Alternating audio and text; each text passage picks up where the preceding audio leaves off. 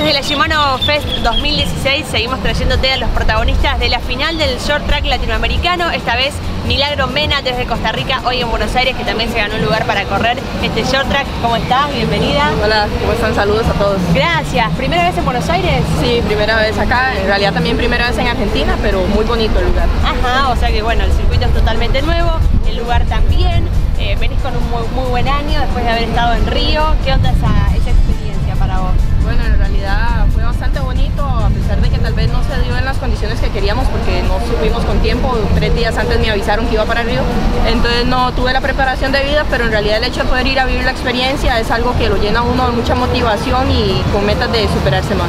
Claro, es eso, es el empuje como para seguir adelante y eh, rozándote además con los mejores del mundo. Correcto, en realidad fue una experiencia que, que lo enriquece mucho a uno.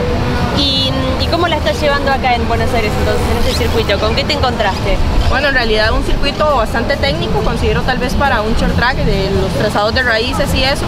En Costa Rica se hace técnico, pero más que nada con los pallets y todo eso, no, no tal vez no tan tan a la orilla de un lago, por decirlo así. Están a la orilla, sí, Y con tanto barro, entonces, pero en realidad un circuito bastante bonito, en realidad yo practico ambas, ruta y mountain bike, entonces igual me gusta, no tengo ningún problema y, gracias a Dios este, todo está saliendo muy bien por acá. Salió el sol, porque hace dos días no sabés la tormenta que tuvimos, por eso todavía hay algunos vestigios de barro. Dicen, dicen, sí, que, que estuvo lloviendo mucho, igual en Costa Rica está lloviendo mucho, entonces de ahí gracias a Dios que, que, ya sale el sol para que se seque un poco el lugar. ¿Estuviste corriendo hoy, mañana domingo también, no? Sí, mañana domingo también, vamos a ver, están en, están viendo a ver si me consiguen una bicicleta de ruta también para ah, correr la ruta y correr el, mountain bike, entonces vamos a ver si se consigue. Se quiere correr todo, bueno, esperemos que consigas la bici, entonces va a ser una linda experiencia el criterium de ruta por las avenidas de, Palermo y después de tu estadía en, por Argentina, ¿cómo sigue lo que queda este año para vos?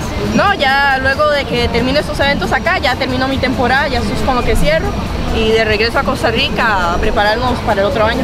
A seguir entrenando. A seguir entrenando. Y aparte de esto, ¿vos estudiás o trabajás o estás dedicada a la bici 100%? Ahorita estoy solamente con la bicicleta, no, no soy con otra cosa en realidad.